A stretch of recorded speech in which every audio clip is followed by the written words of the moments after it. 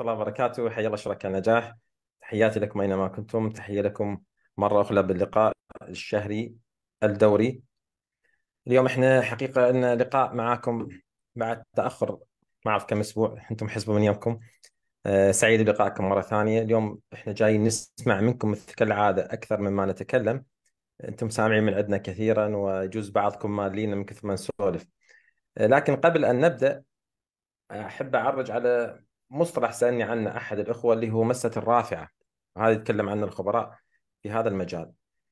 فالرافعة حقيقة أكثر ما آه، لفت نظري إلها أنه فعلا هي آه، أداة قوية إذا فهمناها عرفنا جزء من قيمة ال business اللي عندنا.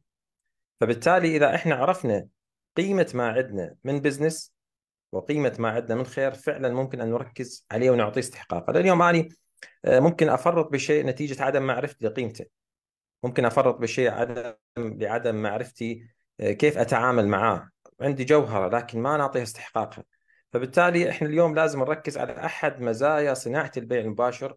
وشو الأسباب اللي خلت هذه الصناعة تتميز عن أقرانها من الصناعات اللي يجي مثلا ناس أذكياء وناس أغنياء وناس آه، قطعوا جزء كبير من حياتهم حتى يحققوا أرباح من خلال مشاريع مختلفة يجي يتكلم عن صناعة البيع المباشر إنه هذه الصناعة عجيبة غريبة إذا بديت من الصفر راح أبدي بيها وإذا فقدت كل أموالي راح أبدي بيها وأفضل ما تعرفت عليه خلال مسيرتي المهنية وخلال مسيرتي العمل مثل مثل ما قال وارن بافيت هي صناعة البيع المباشر فبالتالي لازم نعرف شو اللي خلى هذه الصناعة يتكلم عنها خبراء المال والأعمال بهكذا طريقة.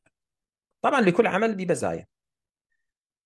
من مزايا صناعة البيع المباشر اللي تعطيها قيمة مضافة عن الأعمال الأخرى وخل نركز بهذا الشيء اللي هي القيمة المضافة وهذا أهل الاختصاص يعرفون في التسويق كل ما علت قيمة ما عندك كل ما أنت اقتربت من النجاح أكثر وتضخمت نتائجك وبالتالي تهون عليك كثير من التحديات مثلا كل ما علت عندك قيمة الجهاز هان عليك السعر كل ما عندك علت آه، قيمة التجارة هان عليك المصاعب.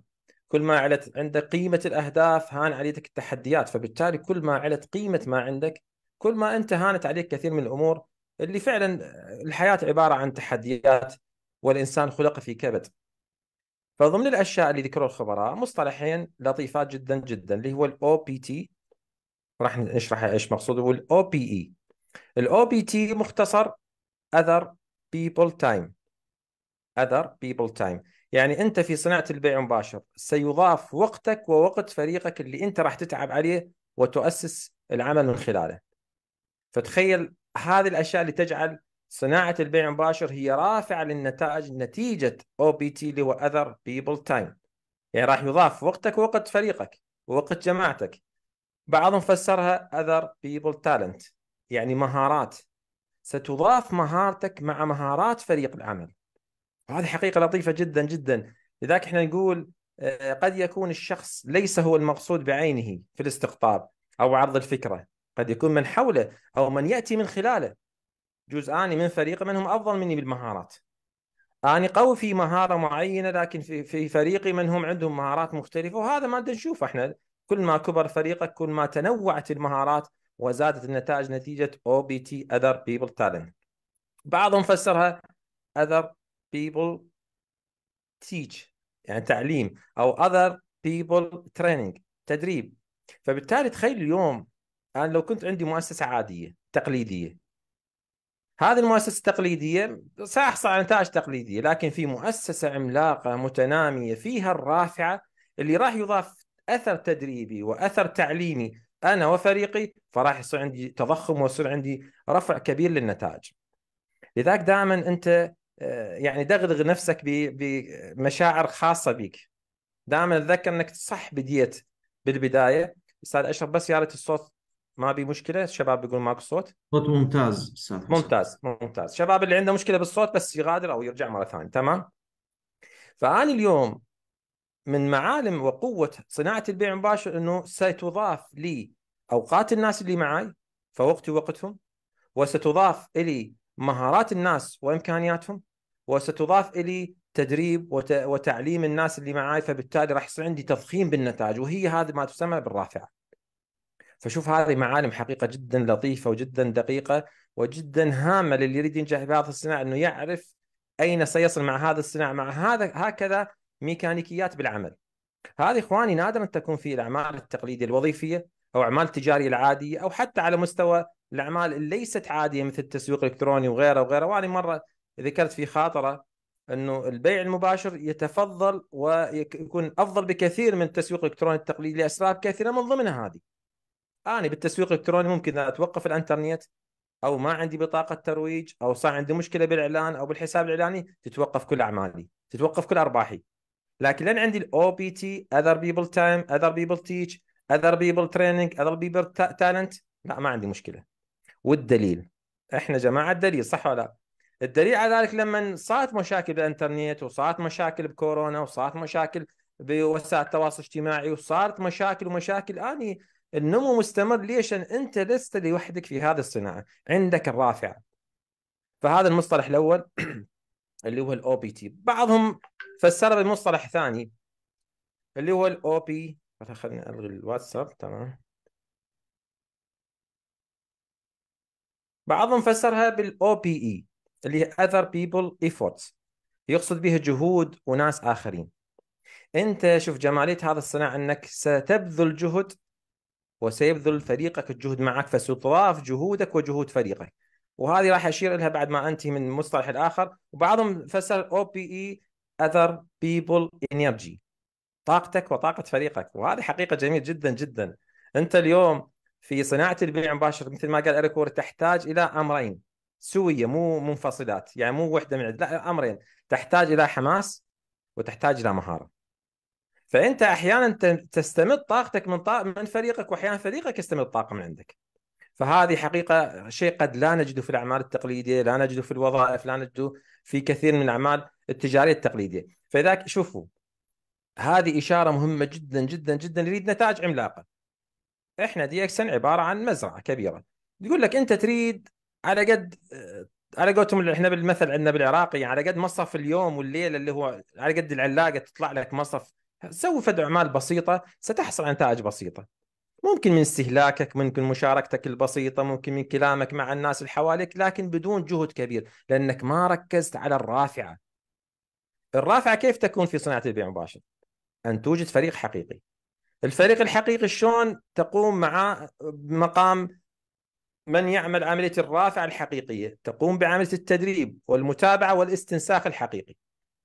فبالتالي أنت إذا صار عندك الطاقة والحماس والتدريب والنشاط وال وال وال عكست على بعض الخطوط والخطوط علمتهم كيف يعكسون على باقي الخطوط صار عندك الرافعة فتولدت عندك ال OPE وال OPT وهذه شرحناها سابقا. فهذه حقيقة نقطة جدا مهمة أشكر الأخ اللي سألني عنها. قلت له لعلها تكون مفتاح دخولنا لهذا الموضوع اليوم. وحقيقة أذكر بعض موضوع آخر قبل لا نبدأ بالأسئلة وحضر نفسكم أي سؤال أنا حاضر. يوم من الأيام أحد الشباب اختلف مع upline ه هذه نقطة كلش مهمة وحقيقة أصبحت مشاعة جدا خاصة بعد توسع الخطوط وتوسع الفرق في بعد انتشار ال social media. فصار نفس موجود إنه أني المشكلة عند upline ي ال upline ماتي ما يتابعني. ال upline ماتي ما ينطيني عروض. ال upline ماتي ال upline ماتي ال upline ماتي.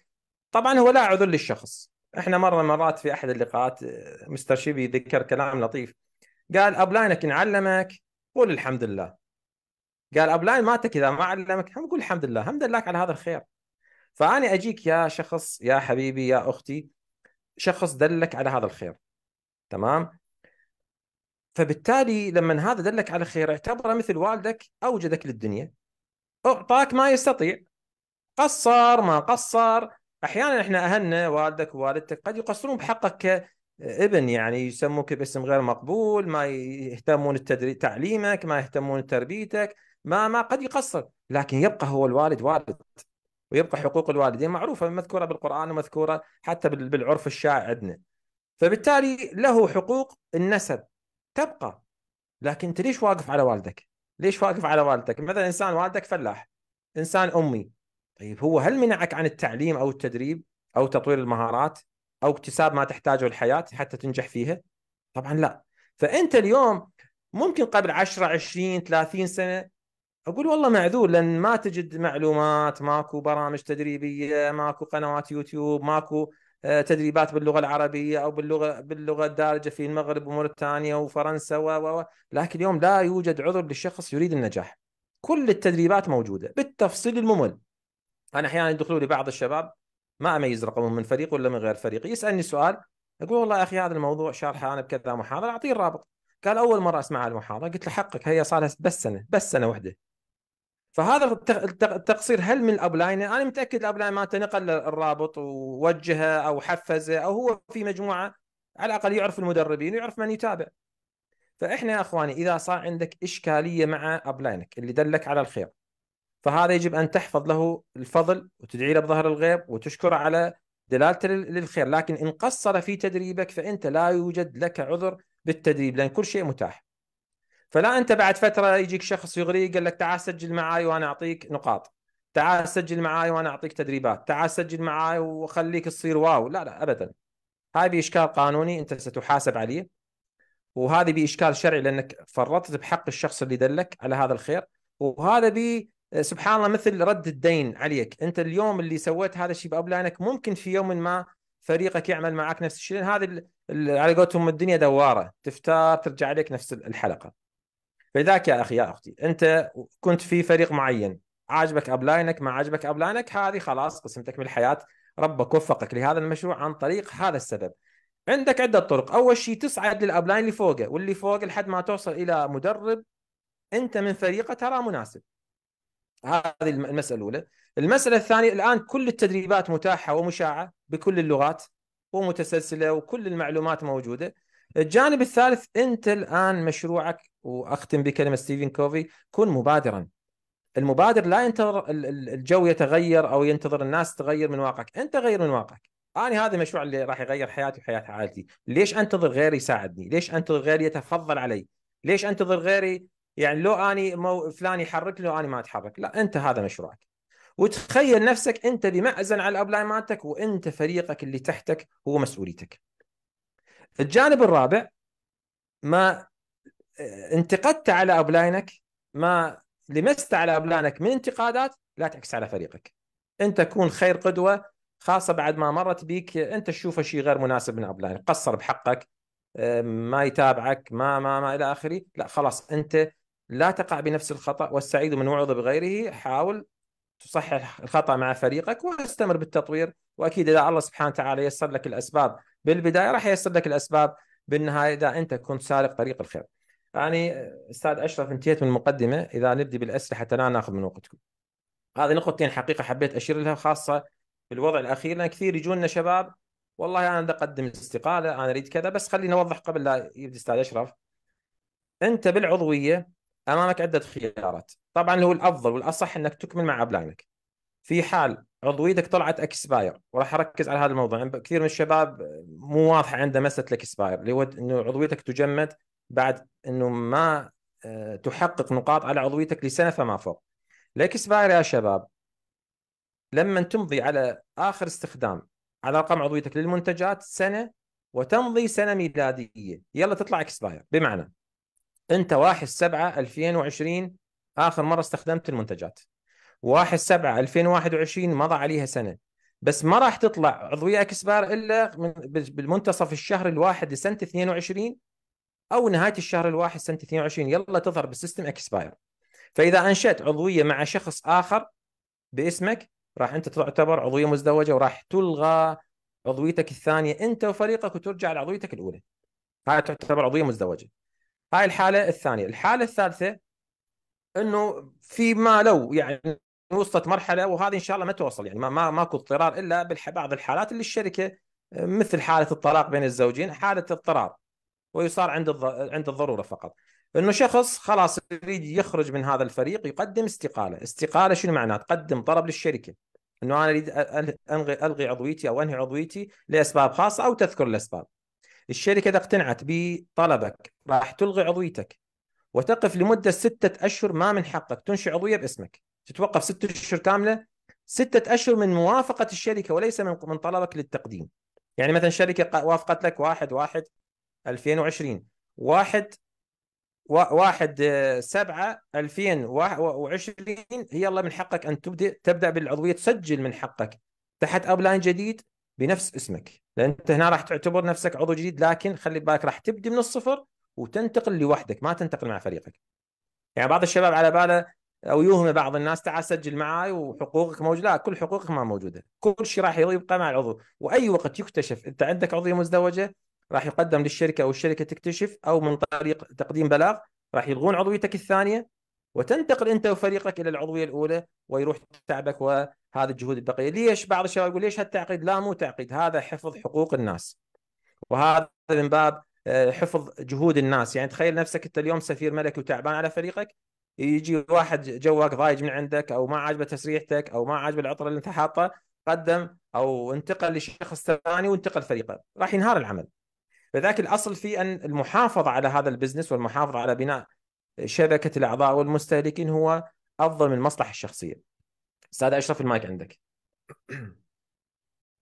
بارك الله بك أستاذ حسام. شكرا على هذه المقدمة وعلى الإشارات اللي أشرت إلها على نقاط مهمة حقيقة وكثير ما تجينا تساؤلات وخصوصا. صلى الله عليه وسلم.